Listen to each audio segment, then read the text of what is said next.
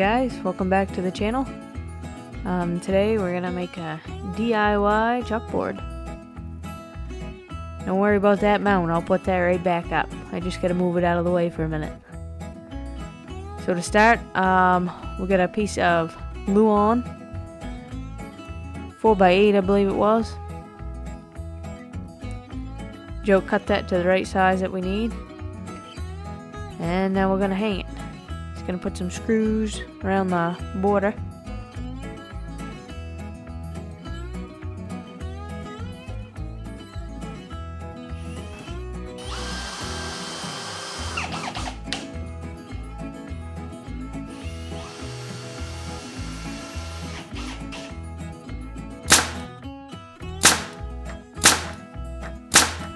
To prevent it from bubbling in the middle, he's just uh, putting some finish nails through the middle of it.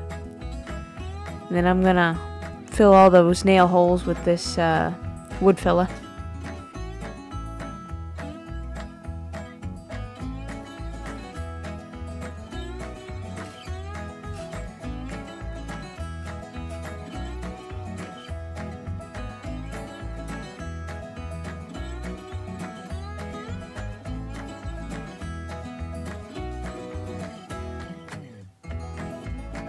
And while I'm waiting for that to dry, I'm putting my painter's tape all around the edges.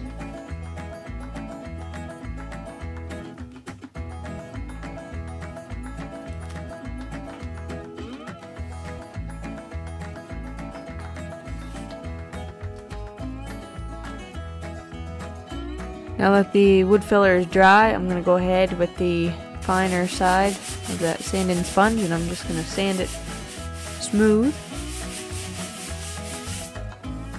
So we get a nice flat surface to work on.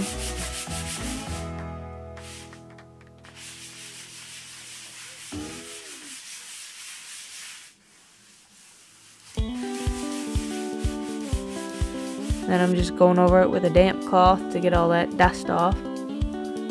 Then after that dries, I can paint it.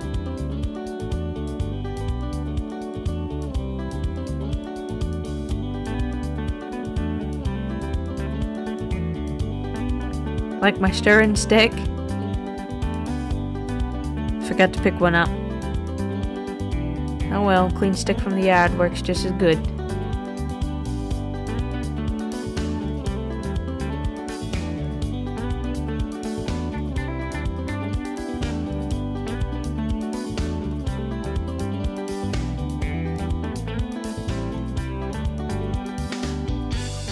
I'm just gonna go around um, all the edges um, with just one layer with this paintbrush.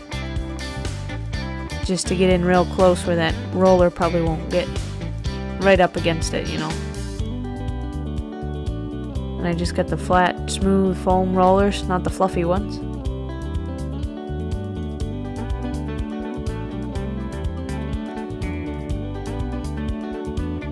Yeah don't forget a paint tray forgot a paint tray. And then I all I had was this um, these uncoated paper plates. So I got about four of them all stacked up. But it worked, so you might want to make sure you get your paint tray. So I'm just gonna put on a coat of this and uh, let the kids help.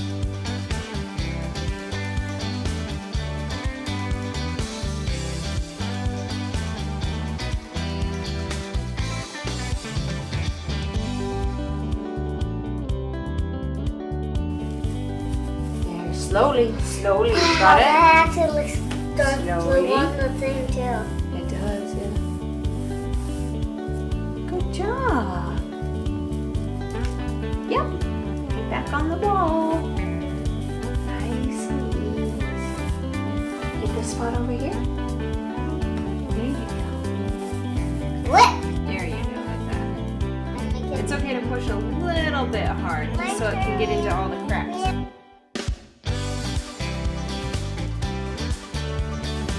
a couple hours later after that dries, I'm just going over it with the fine uh, side of that sand and sponge again, just lightly, and wiping it down with a damp cloth, get rid of the dust again, and throwing on another coat.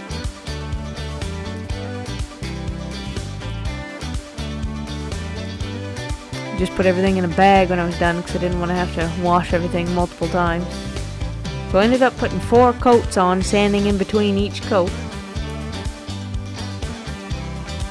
Turned out pretty good, I think. Now that the chalkboard is all done and I took the painter's tape off, what I'm going to do now is take a piece of um, chalk and rub it all over this uh, board to prevent ghosting, which is what happens when, like if I don't rub chalk over this first and I draw something on here, and then I go to wipe it off, you're always going to be able to see a little outline of whatever it was that I just drew on there. So if you rub chalk on it first, it's called seasoning your chalkboard, then that'll um, either completely prevent it or at least lessen it quite a bit. So that's what we're going to do next.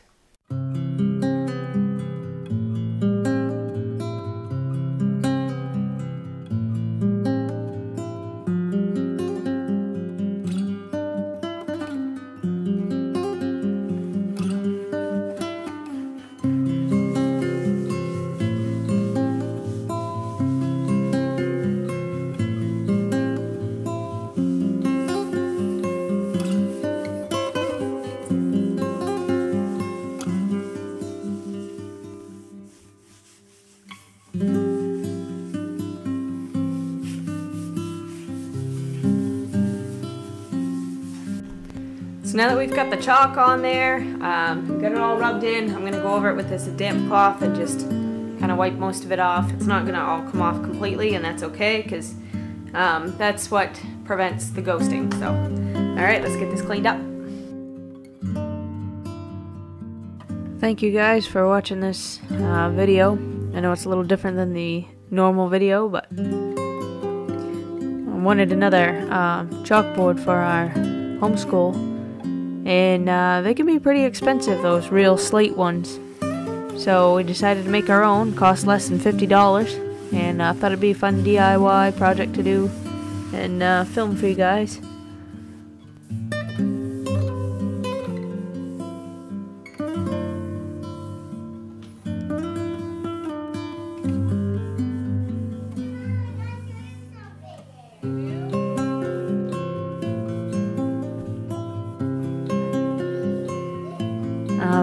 being homeschoolers allows us to have a more flexible schedule and um, do some more outdoor activities and stuff with the kids that we normally wouldn't be able to do if we were tied down to a public school uh, schedule. So that's why I share some of this stuff on here because it kind of goes. I mean, it is part of our lifestyle, so it goes right hand in hand with uh, taking them outside. So, all right, well, that's a wrap.